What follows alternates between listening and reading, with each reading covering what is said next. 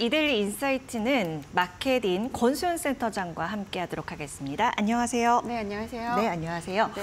오늘은 어떤 내용 좀 준비해 주셨어요? 1분기가 이제 마감이 음. 됐고 뭔가 새롭게 열어봐야 될 것 같은데요. 저 요새 뭐 1분기 마, 감하고 나서 여러 가지 결산들을 좀 하고 있는데 네. 저희 부서가 아무래도 이제 M&A를 주로 취재하는 예. 부서다 보니 1분기 M&A 결산을 한번 해볼까 해서 이제 수치를 좀 갖고 왔는데요. 네. 이제 작년과 비교해 보면 올해 1분기 M&A 시장은 진짜 파리 날렸다. 너무 차가웠다. 차가웠다. 너무 얼어붙었다라고 표현할 수가 있는데 작년 1분기를 일단 한번 비교를 해볼게요. 네. 작년 1분기에는 연초부터 가장 핫했던 deal이 오스템 임플란트였었어요. 오, 예, 예. 유니슨 캐피탈 코리아, 그러니까 UCK라고 부르는데 네.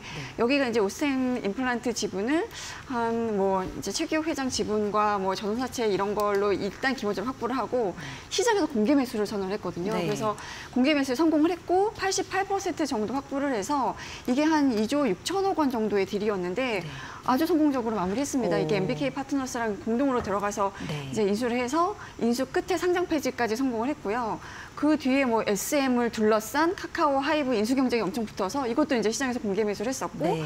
그 밖에도 뭐 조 단위 deal이 수두룩했었어요. 그러니까 네. 네이버가 미국의 포시마크 인수했었고 SD 바이오센서가 메리디안 바이오사이언스 인수했었고요. 이게 둘 다 해외 deal이었거든요. cross-border deal이었고 이큐티 파트너스 그러니까 이거는 해외 사모펀드인데 우리나라에 와서 SK 쉴더스 를 인수를 했고 MBK 파트너스가 이제 오- 그 UCK가 갖고 있던 메디트도 인수해 오고 이건 아. secondary deal이었는데 뭐 조 단위 deal이 작년 1분기에만 한 여섯 건 정도 있었는데 올해는 0건입니다. 음. 그러니까 일단 조가 넘어가는 deal은 없었고 그래서 금액으로 보면 1분기 국내에서 이제 거래가 완료된 M&A deal 규모가 1조 9,937억 원.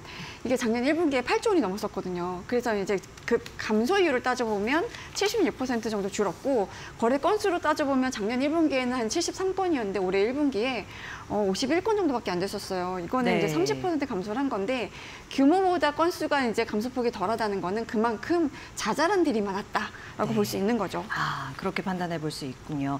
아까 오스템 임플란트 말씀해 주실 때 제가 좀 궁금한 게 그 이제 공개 매수에서 어, 총 88% 정도 음. 확보해가지고 상장 폐지했다. 근데 보통 이렇게 상장 폐지하는 게 이유가 있을 것 같아요. 그러니까 이 사실 오, 요 이제 네. behind 스토리를 좀 예- 말씀을 드리면 이거 굉장히 오스템 임플란트를 한- 인수하기 위해서 공을 많이 들인 그러니까 UCK가 예. 근데 이제 오스템 임플란트 아시다시피 많이 잡음. 역대 역대 뭐 최대 이제 횡령이 발생을 했었잖아요. 그러니까 상장사인데 이렇게 횡령 사건도 발생을 했고 그것 때문에 주가도 되게 많이 떨어져 네. 아, 있었던 상태였고 예. 주가가 떨어지니까 주들이 가만히 있었겠습니까? 아니었죠. 엄청나게 항의도 하고 네. 이 상장사였기 때문에 겪었던 여러 가지 이제 어, 일들이 좀 있었거든요. 음. 근데 UCK가 오스템 임플란트 최기욱 회장을 찾아가서 약간 이런 상장사로 남는 것보다 어쨌든 이 오스템 임플란트는 기술력 하는 굉장한 기업이었거든요. 그러니까 상장 폐지를 해서 그냥 비상장사로 남으면서 기업 가치를 그냥 올려보자라고 음. 이제 설득을 했고 그거에 최기욱 회장이 엄청 동감을 하면서 네. 어, 동의를 했고 그래서 공개 매수까지 이루어졌다. 아. 그러니까 지금도 사실은 최기욱 회장은 경영에 참여를 하고 있고요. 뭐 UCK는 계속 이제 이 최기욱 회장과 예, 교류를 하고 공, 뭐 여러 가지 이게 경영에 관련된 의견 교환하면서 같이 이제 기업을 키워나가고 있는데 이게 사실은 요새는 약간 좀 트렌드가 되어 있었어요. 그러니까 해외에서는 굉장히 네. 이런 것들이 일반적인 케이스였는데 우리나라에서는 작년부터 이게 뭐 한샘도 사실 공개 매수를 예. 했었고 공개 매수에서 상장 폐지까지 가, 루, 어, 루트론직스도 마찬가지였고 그러면서 뭔가 사- 비상장사로서 훨씬 이제 경영권을 경영할 때 경영권을 가지고 경영할 때 운신의 폭이 넓어지는 거를 좀 경험한 사모펀드들이 이런 전략들을 좀 많이 쓰고 있습니다. 네. 그러면 올해 1분기는 좀 주목할 만한 딜이 있나요? 그러니까 조단위 딜은 없었고 그래도 가장 컸다고 할 수 있는 게 오리온 그립이 이제 레고킨 바이오를 인수했던 예. 건데 5,500억 원 정도 들여서 한 지분 25%를 사들였는데 이 오리온 그립이 2020년에 바이오 사업에 이제 진출했거든요. 그리고 한 3년 만에 이제 M&A 나선 건데 뭐 이런 식으로 이제 M&A를 해서 뭔가 이제 바이오 사업을 키우겠다라는 의지를 이제 강하게 좀 드러냈고 그 다음으로 볼 수 있는 게 LIG 넥스원이 미국 코스트, 아, 고스트 로보틱스 인수한 거, 그거 한 3,150억 원 정도였고요. IMM PE가 유나이티드 터미널 코리아 인수한 게 이제 3,000억 원 이거 정도였고. 고스트 로보틱스 어떤 거예요? 로봇 이름에서 그쵸. 알듯이 그거죠? 그러니까 요새는 네. 약간 트렌드가. AI, 로봇, 음, 자율주행. 뭐 이런 쪽에 많이 네. 집중되어 있습니다. 그런 쪽이었고 이제 IMM은 이거는 터미널 코리아는 좀 이제 인프라 쪽이었고요. 그러니까 이거는 이 사모펀드가 관심 갖고 있는 영역 중에 괜찮은 않고 이제 가격도 저렴, 그러니까 조금 이제 valuation 대비 좀 저평가돼 있다 이런 이제 딜들을 좀 사는 거죠.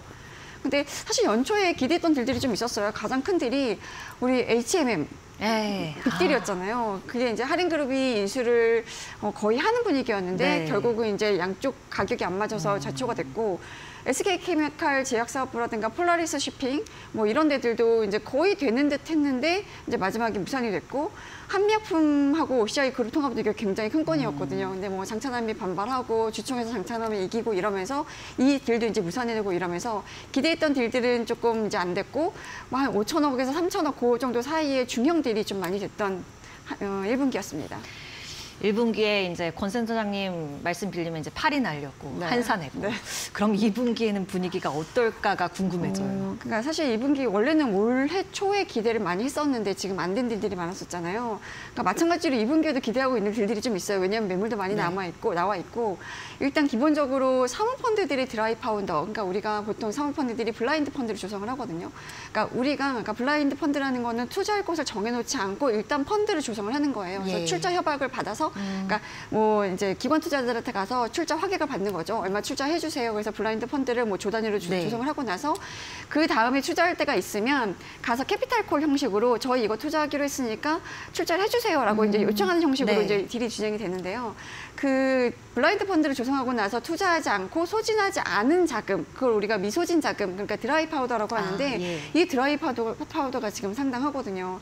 그러니까 그 자산운용 규모로 보면 우리가 4대 국내 PEF를 따져보면 한앤 컴퍼니하고 MBK 파트너스하고 이제 스틱 인베스트먼트하고 IMM PE 이렇게 네 개를 따지는데 그 네 군데에 연초에 저희가 조사해봤을 때만 해도 13조 5천억 원 정도가 오. 남아 있었어요. 네. 그러니까 이 dry powder를 일단 소진을 해야 되니까 열심히 이제 매물을 찾고 있는 분위기고 그리고 또 한 가지가 이제 이 딜을 할 때 가장 불확실한 게 정치 이벤트거든요. 총선이 있었잖아요. 네, 그랬죠. 총선은 이제 막 4월 10일 날 끝났고 총선이 끝나면 이제 여러 가지 이제 새로 구성된 국회의 이제 분위기도 볼 수 있고 불확실성이 좀 해소가 되니까 이제부터 조금 매물을 찾아서 해볼까라는 얘기를 할 본격적으로 나서보자. 그렇죠. 네. 근데 이게 사실 딜이라는 게 뭐 한 달 두 달에 끝날 건 아니고 지금부터 시작하면 한 최소 6개월 정도는 걸릴 텐데 예. 왜냐하면 매물로 나온 것들을 이제 뭐 공개 입찰을 하면 음. 거기에 입찰도 해야 되고 우선 협상 대상자를 선정하면 그 우선 그러니까 음. 선정된 곳이 실사를 해야 되고 실사를 한 후에 가격 조정까지 이루어지고 최종 딜 던이 이루어지기까지는 한 음. 6개월 이상은 걸리기 때문에 뭐 지금부터 시작하면 예를 들면 뭐 하반기 정도에 이제 결실이 맺- 맺어지지 않을까라는 얘기들을 하니까 이분기보다는 하반기에 조금 딜들이 좀 어. 많을 것 같다는 생각이 좀 들어요. 하반기가 더 나을 수도 있다 이렇게 말씀을 해주셨는데 그렇죠. 일단 지금 조달할 때 어, 이런 금리 금리 중요하죠.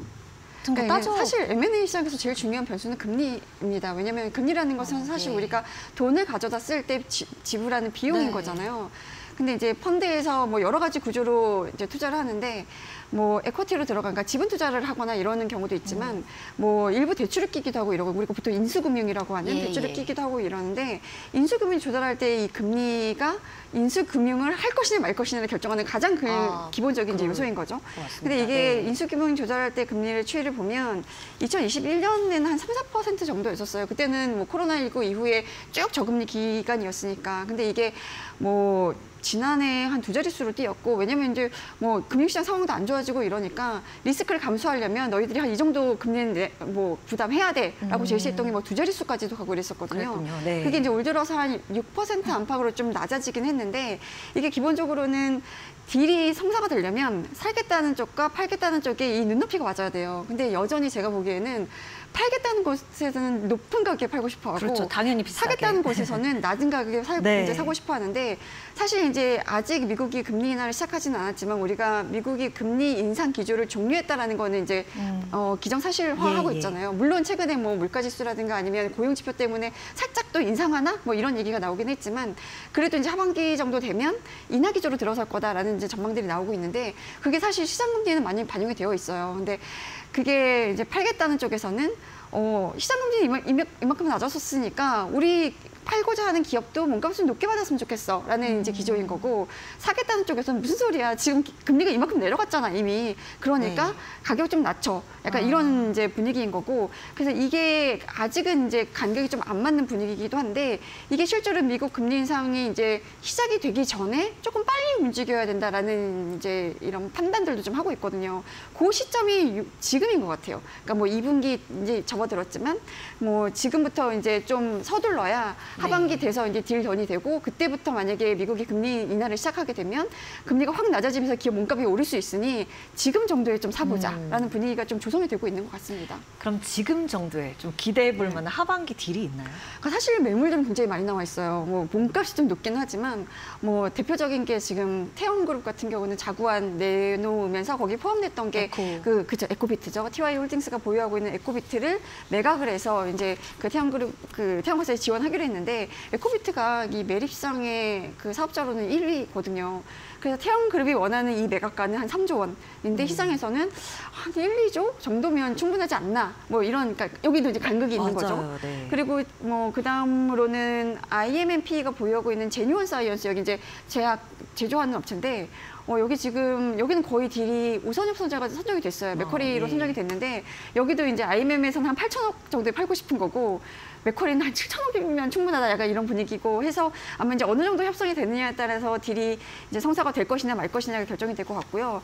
또 한 가지 이제 아시아나항공 화물 사업부 매각이죠. 요거는 이제 대한항공이랑 아시아나항공이랑 합병을 하려면 이제 독과점 문제 때문에 요거를 이제 승인을 받으려면 화물 사업을 매각을 해야 되고 네. 어, 그러려면 이제 지금 뭐 이것도 사실은 short list가 선정이 되어 있는 상황이에요. 뭐 제주항공이랑 이스타, 뭐 에어프레미아, 에어 인천 이렇게 이제 그 저가 항공, 저비용 항공사로 선정이 되어 있는데 저비용 항공사들 주, 대주주들 중에 사모펀드가 대주주인 곳들이 많아요.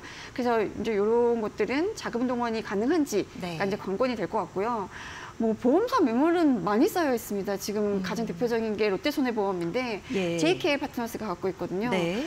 그러니까 이 사모펀드들이 갖고 있는 매물들은 펀드가 사실은 어찌 보면 이렇게 만기라는 게 있으니까 그 만기가 다가오면 아 여기에 담겨져 있는 포트폴리오들은 이제 좀 팔 때가 됐구나라는 아. 이제 추정이 가능하잖아요. 예. 사모펀드는 이 매물을 천년만년 갖고 있을 수는 없는 거거든요. 그래서 어느 정도 인수한 지 시간이 좀 지나면 아 매물로 나올 때가 됐고 그 중에 하나가 지금 롯데손해보험인 건데 예. 롯데손해보험도 마찬가지로 이제 간극이 좀 있습니다. 시장에서는 뭐 한 2조 미만 정도로 이제 보고 있는 것 같고 JK 파트너스는 한 3조 정도는 받아야겠다라는 이제 분위기인 거고 뭐 이 밖에도 MG 손해보험이라든가 KDB 생명, 뭐 ABL 생명, 동양생명 뭐 다 이제 보험사 매물들 나와 있고요. 뭐 상조회사죠 프리드라이프 VIG 파트너스 갖고 있는 건데 여기도 한 1조 원 정도로 여기도 이제 거의 딜이 마무리되어 가는 분위기고요. 이 밖에도 SK 렌터카라든가 K카, 하나투어 예. 여기어때? 그리고 뭐 오늘 아침에 뭐 HPSP라는 이제 반도체 업체도 매물로 나왔다는 얘기가 좀 있긴 한데 이것도 사모펀드가 갖고 있는 매물 특성상 기간이 지나면 이제 매물화 될 수 있는 가능성이 있기 때문에 음. 사모펀드들이 약간 그런 작업도 좀 하긴 해요. 이제 팔 때가 되면 시장에 이제 타진해 보는 거죠. 어, 이 음. 매물을 좀 팔고 싶은데 어느 정도 받을 수 있을까라는 거를 기사를 통해서 화- 뭐 타진해 네, 보기도 네, 하고 네, 네. 전 약간 그런 차원이 아닐까라는 음. 생각 좀 들긴 하는데 요것도 이제 시가총액이 한 3조 원 넘는 반도체 소부장 업체니까 꽤 관심들은 높은 것 같습니다. 네. 지금 근데 이제 쭉 설명 들어보니까 사모펀드만 근데 M&A 하는 게 아니잖아요. 아니죠. 대기업들도 이제 그쵸. 눈독 들이는 기업들 그쵸. 막 타진하고 그러는데 그런 그쵸. 내용들도 좀 있어요. 그러니까 사실 우리가 이제 기업들을 인수할 때 뭐 재무적 투자자 FI 그리고 전략적 투자자 예. SI 이렇게 나눠서 보잖아요. 대기업들은 보통 이제 전략적 음. 투자자로 들어가는 경우들이고 대기업들은 기존에 있는 사업들을 강화하거나 아니면 이제 기존에 있는 사업 중에 어, 집중해야 되는 사업이 아닌 경우는 털어내는 경우도 있어요. 네. 그러니까 이게 뭔가 구조조정 매물 중에서 너무 안 좋거나 이래서 털어내는 게 아니라 전략적으로 뭐 우리가 미래 전략을 딱 세웠는데 여기서 이 사업은 좀 필요 없는 것 같아. 그럼 이 아. 사업을 팔고 네. 이 돈으로 기존의 사업을 강화할 수 있는 뭔가를 사자. 약간 이런 식으로 이제 사업 구조 조정을 많이 하는데 음. 네. 지금 대기업들은 올해 뭐 M&A에 대한 얘기를 연초부터 굉장히 많이 하고 있습니다. 일단 기본적으로 삼성전자 같은 경우는 올해 해외 M&A에 30조 원을 투자하겠다라고 예. 이제 공적으로 밝힌 것도 있고 네. 이래서 뭐 삼성전자는 2017년에 이제 전장 사업체죠. 하만을 인수한 후에 M&A가 이렇다 할 게 없었어요. 근데 그때 하만 인수 금액이 한 10조 원 정도 됐었으니까 굉장히 큰 금액이었잖아요. 근데 그때 하만 인수하고 나서 한동안은 이거 왜 인수했지 이런 분위기였는데 지금은 굉장히 효자 사업이 됐습니다. 예. 뭐 영업이익이 지난해만 해도 1조 원이 넘어섰고 그리고 삼성전자는 이제 이 M&A를 하기에 약간 발목을 잡았었던 사법 리스크들이 지금 해소가 됐잖아요. 예, 그랬죠. 그 뭐 경영권 승계와 관련된 뭐 여러 가지 혐의에서 1심에서 무죄가 나왔기 때문에 이 조금 이제 사법 리스크 말씀하시는 그렇죠. 거죠. 그래서 약간 날개를 단 상황이고 그래서 삼성전자에 대해서 기대하는 바가 좀 있는 상황이고요. 또 현대차도 마찬가지예요. 현대차도 뭐 2021년에 보스턴 다이내믹스 에어플러그 인수했고요. 2022년에 포티투닷 인수를 했거든요. 네. 그러니까 여기는 기본적으로 이제 소프트웨어 중심의 자동차로 방향을 잡고 가고 있기 때문에 여기에 필요한 자율주행 로봇 이런 음. 이제 소프트웨어 업체들을 많이 인수하는 분위기인데 뭐 2026년에 M&A를 포함한 전략 투자에 1조 6천억 원을 배정했다라고 네. 했으니까 여기도 이제 기대를 하고 있는 분위기고요. LG그룹도 M&A에 2조 원 쓰겠다라고 밝힌 상태고 하나그룹 같은 데도 이제 여기는 이제 방산 요새 엄청 방산 핫하잖아요. 그렇죠. K 방산 막 네. 이러면서 그래서 한화그룹도 이제 이 방산 부분에 좀 M&A를 하지 않을까라는 생각을 하고 있고 뭐 신재생 에너지 쪽에도 이제 투자하지 않을까 하고 있고요. 그러니까 대기업들은 사실은 이제 국내 M&A도 그렇지만 해외에서 이제 M&A 매물을 찾는 그러니까 우리 보통 이제 국- 국경을 넘는 cross-border 딜이라고 많이 얘기를 하는데 이런 cross-border로 해외 매물에 좀 눈독을 들이는 분위기이고 전략적으로 집중해야 될 부분 집중해서 이제 인수하고 이제 떨어내야 될 부분 떨어내고 이런 대기업의 전략 차원에서의 매물도 많이 나오고 인수도 많이 이루어지고 이런 게 우리 하반기 많이 이루어지지 않을까 하는 기대를 좀 하고 있습니다. 네. 자, 오늘 건소연 마케팅 센터장과 함께 이 M&A 얘기 어떠한 내용들이 전개될지 가늠해 보는 시간 마련해 봤습니다. 센터장님 오늘 말씀 고맙습니다. 네, 감사합니다.